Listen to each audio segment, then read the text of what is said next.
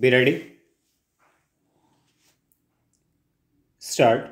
Sir, some days ago I had the honor of presenting to the House the report of the Planning Commission on the second five year plan. I presume that many members have read it since then, either fully or in parts. I have now the honor to move the following resolution.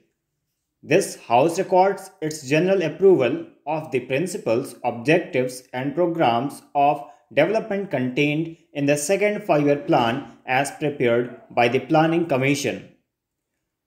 Those honorable members who have read this report have probably not found it very light reading.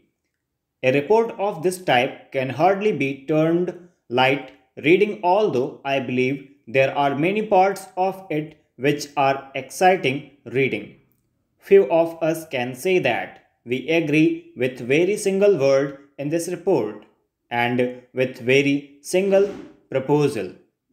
A report of this type is the product of the labor of a great many persons, not only members of the Planning Commission, but a vast number of other people who have been consulted. Among them are experts of our own country and of foreign countries and other representing various interests and professions in the country. As with all joint products, there is an attempt to meet different viewpoints.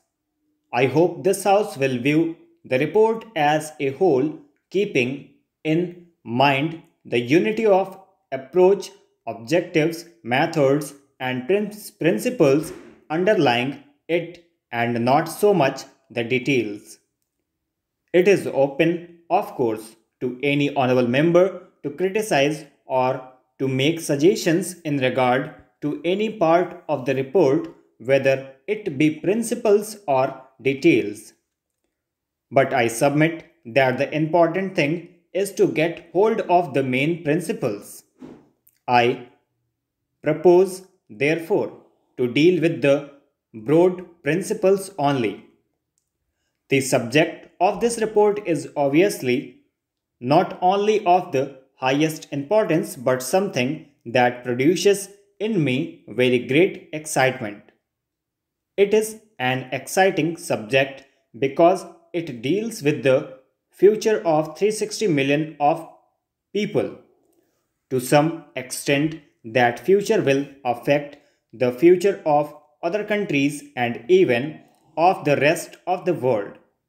It therefore becomes an enthralling and exciting subject. We are engaged in shaping of the future of India. Surely there could be few subjects more exciting than this. It is therefore with a sense of the burden of history that I face this problem. Stop.